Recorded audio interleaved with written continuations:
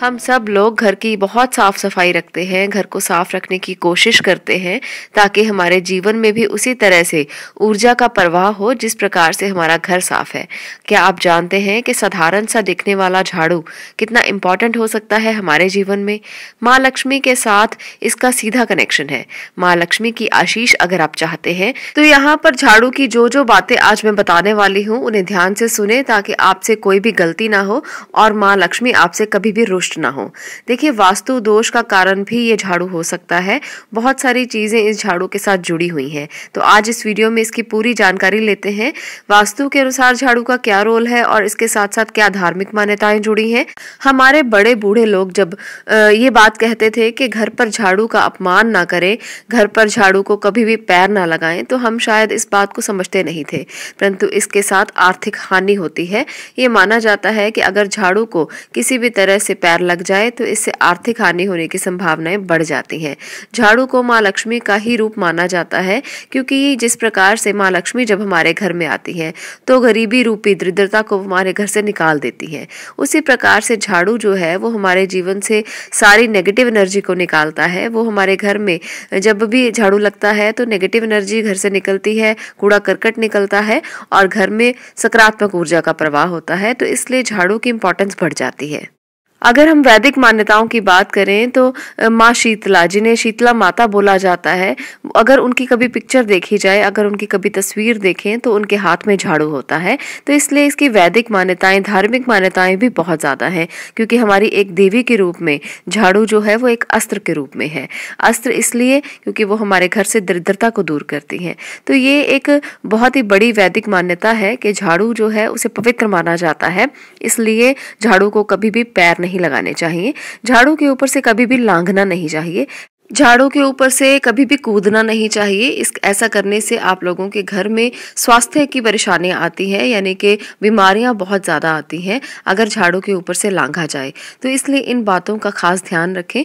इसके साथ साथ और भी बहुत सारी चीज़ें हैं जो झाड़ू को लेकर बताई गई हैं। इसके लिए आप लोग इस वीडियो को पूरा देखें। वन बाय वन मैं आपको सारी यहाँ पर बातें बताऊँगी कि झाड़ू को किस प्रकार से आपको घर पर कहाँ पर रखना चाहिए। झाड़ू को घर की साउथ साउथ वेस्ट डायरेक्शन में रखना चाहिए, जिसे हम नैत्य कोण मानते हैं। दक्षिण और नैत्य के बीच का जो कोण है, वहाँ पर झाड़ू को आप छिपा कर रखें।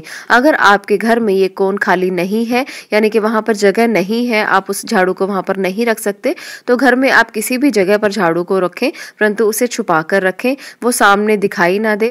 किसी की भी नज़र उस पर ना पड़े, इस प्रकार से आप उसे छुपा कर रखें।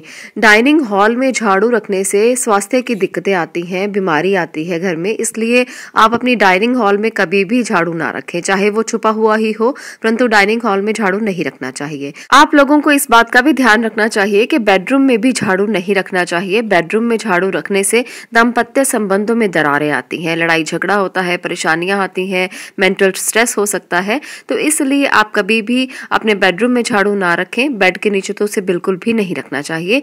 इस चीज़ का खास ध्यान रखें। नहीं तो आपके दाम्पत्य जीवन की दिक्कतें जो है वो कभी दूर नहीं होंगी।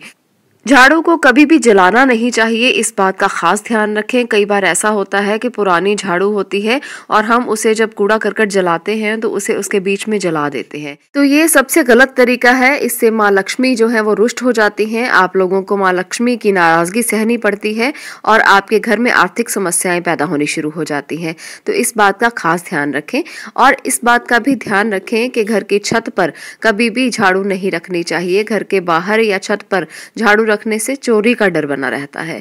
तो घर के बाहर अगर आप झाड़ू रखते हैं, छुपा कर रखें, किसी स्टोर में झाड़ू को रख सकते हैं, साउथ साउथ वेस्ट में झाड़ू को रख सकते हैं और जहाँ भी इसे रखें, छुपा कर रखें। ऐसा करने से किसी भी प्रकार का आपको भय नहीं रहेगा, आपके घर से भय की समस्याएँ दूर होंगी। जितना झाड़ू छुपा रहेगा, उतना ही आप लोगों के घर में डर की भावना जो है वो बिल्कुल खत्म हो जाएगी, जैसे किसी बच्चे को डर लगा रहता है, किसी चीज़ का हमेशा भय बना रहता है। घर में हर व्यक्ति इस प्रकार से सोचता है कि छोटी छोटी चीज़ों की टेंशन उन्हें होने लगती है तो ऐसे में झाड़ू को बिल्कुल छुपा कर रखें। तो ये कुछ बातें हैं जो झाड़ू को लेकर आपको ध्यान में रखनी चाहिए, और इसके आगे मैं आपको अब बताऊँगी कि झाड़ू को खरीदने की क्या विधि है। झाड़ू को कब खरीदना चाहिए? झाड़ू को हमेशा कृष्ण पक्ष में खरीदना चाहिए। कृष्ण पक्ष में खरीदी गई झाड़ू आप लोगों के लिए बहुत उचित रहती है। शुक्ल पक्ष में खरीद खरीदी गई झाड़ू जो है वो दुर्भाग्य की सूचक मानी जाती है। झाड़ू हमेशा कड़े वारों में ही खरीदनी चाहिए। सौम्य वारों पर झाड़ू खरीदने से धन हानि होती है। इसलिए इस बात का खास ध्यान रखें। कई बार ऐसा होता है कि हमारे घर के आसपास गाय आती है और हम उसको झाड़ू से भगाने की कोशिश करते हैं या किसी भी जानवर को हम झाड़ू से भगाने की कोशिश करते हैं। तो ये बहुत गलत है। हमारी मान्यता है, हिंदू धर्म में ये मान्यता है कि तैतीस कोटि देवी देवताओं का वास गाय में होता है। तो ऐसे में आप लोगों को गाय को बिल्कुल भी झाड़ू से भगाना नहीं चाहिए। ये गलत है। ऐसा करने से माँ लक्ष्मी का अपार गुस्सा आपको सहना पड़ेगा, क्रोध आपको सहना पड़ेगा। ऐसे में माँ लक्ष्मी रुष्ट हो जाती हैं और आपके घर में कभी भी वो नहीं आती। तो इन चीज़ों का भी ध्यान रखें। कभी भी किसी भी जानवर को, चाहे वो गाय हो, चाहे वो कुत्ता हो, उसे झाड़ू से ना भगाएँ। अब बात करते हैं आगे कि झाड़ू को लगाने के पीछे का क्या रहस्य है? झाड़ू को कब लगाना चाहिए? किस समय लगाना चाहिए घर में? झाड़ू को हमेशा सूर्य उदय के बाद लगाना चाहिए और सूर्य अस्त से पहले लगाना चाहिए। जैसे ही सूर्य की पहली किरण आपके घर में पड़ती है, आप झाड़ू लगा सकते हैं, परंतु सूर्य अस्त से पहले इसे लगाकर ख़त्म करें, यानी कि अगर आपको बीच में भी झाड़ू लगाना पड़ता है, दोपहर के समय लगाना पड़ता है, आप लगा सकते हैं, परंतु सूर्य अस्त के बाद झाड़ू नहीं लगाना चाहिए, ऐसा करने से भी माँ लक्ष्मी रुष्ट हो जाती हैं। वैसे तो साफ़ सफ़ाई करना अच्छा ही होता है, लेकिन वास्तुशास्त्र में इसके पीछे कुछ समय दिया गया है जब हमें सफ़ाई करनी चाहिए। घर में झाड़ू लगाने के लिए दिन के पहले चार पहर को उचित समय माना गया है, जबकि रात के चार पहर को इस काम के लिए बहुत ही अनुचित समय माना गया है। तो इसलिए रात के चार पहरों में झाड़ू लगाने से घर में दरिद्रता अपने पैर पसारती है और धन की देवी माँ लक्ष्मी रुष्ट हो जाती है, जिससे घर में धन की आवक पर प्रभाव पड़ता है। अगर आप बहुत दिनों के बाद घर में शाम के समय आ रहे हैं। आप कहीं बाहर गए हुए हैं और आपको पीछे से बंद घर या बंद धूल मिट्टी को आपने ठीक करना है और आपको शाम के समय झाड़ू मारना आवश्यक है। तो ऐसे में आप क्या करें? ऐसे में आप लोग झाड़ू लगाएँ, परंतु जो मिट्टी, जो कूड़ा करकट आपने इकट्ठा किया है, उसे आप अपने घर में ही फेंकें, बाहर नहीं फेंके। घर के ही कूड़ा करकट जहाँ आप फेंकते हैं, कूड़ेदान में, उसी में ही आप फेंके। और उसके बाद अगले दिन आप उसे घर के बाहर सूर्योदय के समय के बाद फेंक सकते हैं। परंतु आपको घर घर में झाड़ू जो है वो शाम के समय बहुत कम किसी इमरजेंसी में ही लगाना चाहिए। इसे रोज़ाना की आदत नहीं बनाना चाहिए। ऐसा करने से बहुत सारी दिक्कतें आपके घर में आती हैं, आर्थिक तौर पर भी, मानसिक तौर पर भी और इमोशनली भी।